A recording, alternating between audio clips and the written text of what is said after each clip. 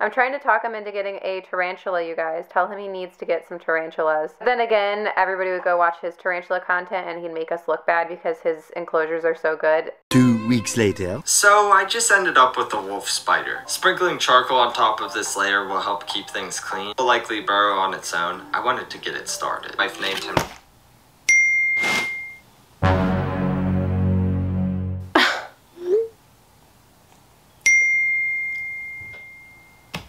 I knew this would happen.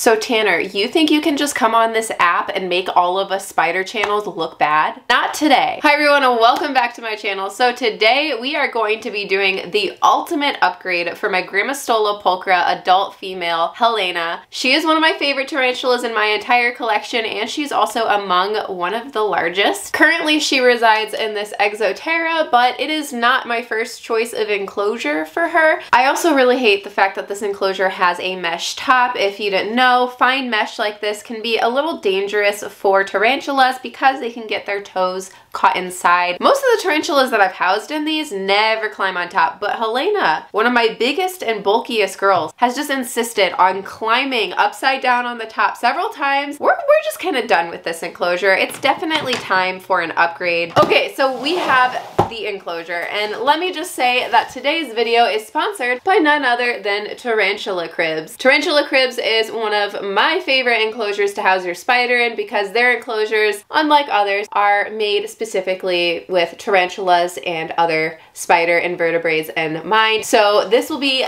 definitely a humongous upgrade. This is the, what is this? This is a new size. You guys have been saying you need bigger. Well, here we go. This is 18 by 12 by 12. So originally I was gonna rehouse her into one of the big cubes, but this is gonna be way better because she is not a tarantula that seems to like to dig very much. So I think that this will give her more space terrestrially and literally just be perfect. So these humongous things are now on the website if you want to grab one. Of course, you can always use my affiliate code. It's KAT10. It'll save you 10%, which is a huge chunk. So yeah, this is gonna be my first time actually looking at this enclosure and trying it out, and I can't think of any better circumstances to do so. So let's get right into this. Oh my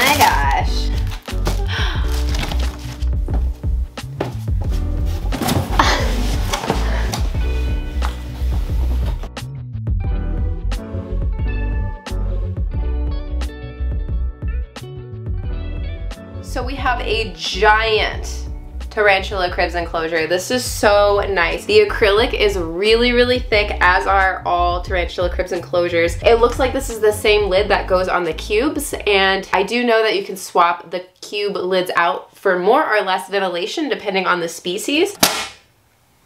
Very, very secure magnets. Don't get your fingers caught. This is an upgrade. This is this is gonna be an upgrade, my goodness. So first we're gonna make a drainage layer. So we're gonna use these hydro balls. I did not get these from the pet store because the pet store did not have them. So I went to a weed growing store and guess what they had? I can't tell you what brand they are, but they look uh, about the same as usual. So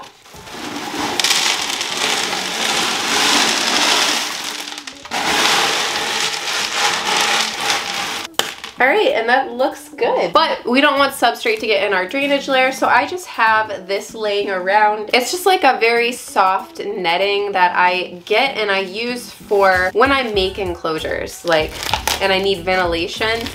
So let's size this. I'm a girl and this is how we measure. And no, I will not be elaborating. This is just what we do.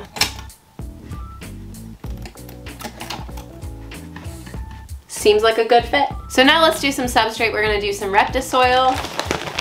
All right, we're gonna stop here for now. If we need to add more later, we can, but we've got lots of stuff to add in here and she is not really a burrower. I paid $25 for this. So this is really, really pretty and I think she'll enjoy hiding in the leaves and stuff. So for her hide, I found this giant piece of cork that I'm gonna break to kind of see how it looks and make it fit just right. I think first we'll start breaking right here. Something like this should be good because she can fit inside it and hide if she wants, or she can just kind of sit on top of it. And we'll do it just like this. I like this. Let's do this plant. I think we should do this plant next. I think like right here would be like the most logical place to put it because it's just going to kind of grow across the whole enclosure.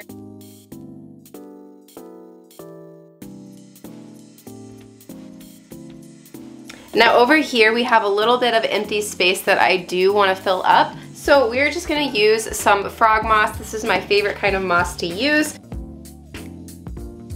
So of course we are going to need a water dish and I found this one. I love this one. It's really big, but it's also shallow. So I think we're gonna put this water dish right over here. Let's add a little bit more substrate here in this corner. And I'm just filling in the gaps with some substrate. So now we're just gonna do some like finishing touches here and I have some quartz. So we're just gonna stick it in the dirt around just like this. And these are like smooth too, so they won't, we don't have to worry about it like being pokey or anything. Wow, okay, I love this. But is this up to Serpa design quality? No, but it was fun and, and that's what's important, right? That we all had fun. Okay, let's do springtails.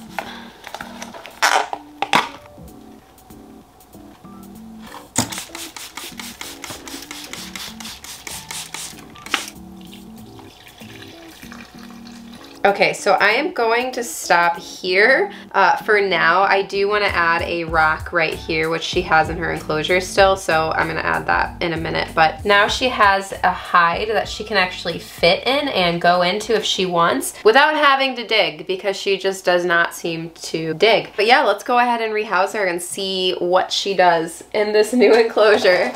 She's actually sitting right here. Now something about Helena, she loves to run. She is definitely a runner and a track star for being a Grammostola pulchra, which makes me feel like I should probably have like something to catch her with. All right, Miss Helena. Guess I'm gonna grab this rock.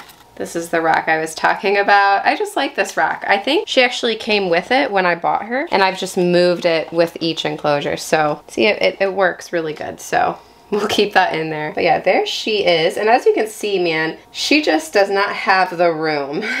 She really doesn't. So we're going to give her some more room for sure today. Now for tarantulas and most spiders, they actually don't need like a ton of space, which I've talked about this many times, the reasons why, I have a whole video about it, but it doesn't hurt to give them more space.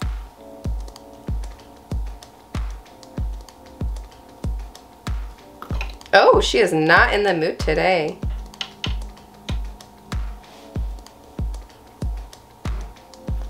Yeah, she is just not in the mood at all. I forgot to put leaf litter in there. I just realized I'm looking at her enclosure and I'm like, oh, there's leaf litter. We'll add some leaf litter. That's really easy to fix. See how she keeps turning around every time I tap her? That's kind of her being like, hey, leave me alone. Like, I don't want to do anything. But look how gorgeous she is. Oh my gosh, absolutely gorgeous girl. There we go. Come on. No, no, no, no, no, no, no.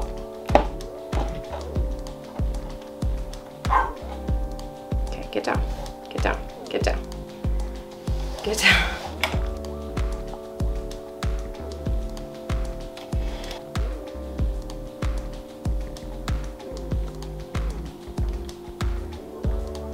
What do you think?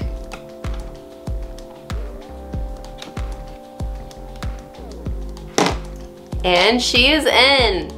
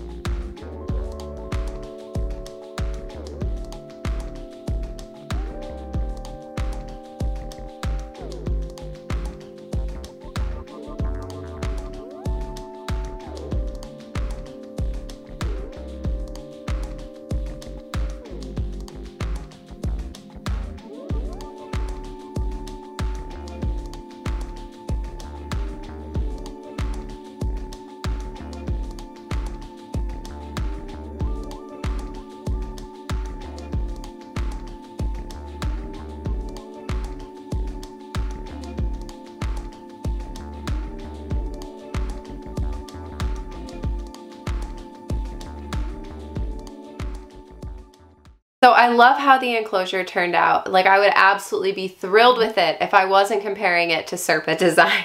Ugh. But I think more importantly, Helena is happy with it. She got an upgrade from the cube to this, more space, better hiding spot, safer for her so she doesn't climb up there and, and fall and hurt herself. But I guess there's like a lesson here in today's video that I should not try to be Serpa design because I don't make enclosures like this. I make enclosures like this. And that's okay. That's totally fine. That's what he does and this is what I do. But I hope you guys enjoyed and if you want to get the new extra large Tarantula Cribs enclosure. It's on their site now. Remember, use affiliate code KAT10. It'll save you 10%, which is a huge chunk on a more expensive enclosure like this one is. Um, like this video if you enjoyed, subscribe if you're not, and you want to be. Don't forget I'm an Instagram, use probably way too much, it's at tarantula.kat. You can go follow me there. I also have a Patreon, fourth wall, a bunch of goodies, links, stuff in the description. Go check it out, and I will see you guys soon. Let's get into the Patreon pet picks.